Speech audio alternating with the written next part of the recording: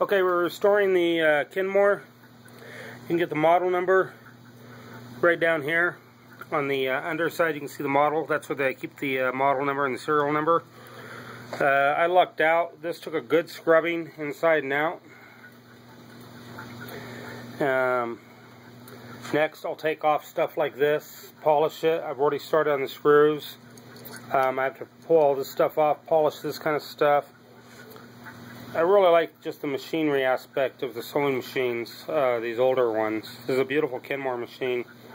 So uh, I used, to clean it, I actually used some of this purple power and that stuff works great. So now we're getting ready to do the cabinet.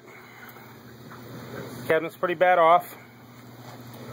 Uh, this part actually looks good right here, but there's some deep gouges in here.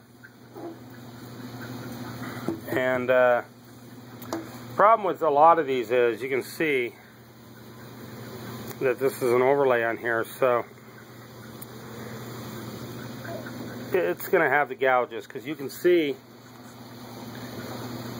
that's just dented in. But on some of these you'll actually see the grain going the opposite direction, almost like a plywood. So what we're going to do we are going to sand it all, just to make it all smooth and stuff, and you won't notice gouges. It'll look more like indents in them instead of deep gouges with a different discoloration. We're going to remove the hinges, leave all those exactly the way they are. Uh, hinges are beautiful. We'll clean out the inside. This opens up. We'll wipe all this down, get it all cleaned up, adjust the hinges, and we'll get started. So I guess we can call uh, the machine part one, and this will be part two, the cabinet.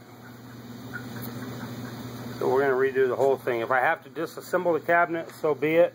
Sometimes you have to. Uh, let's look under here real quick before. Yeah, I can't see if uh, you know, it's not bolted together.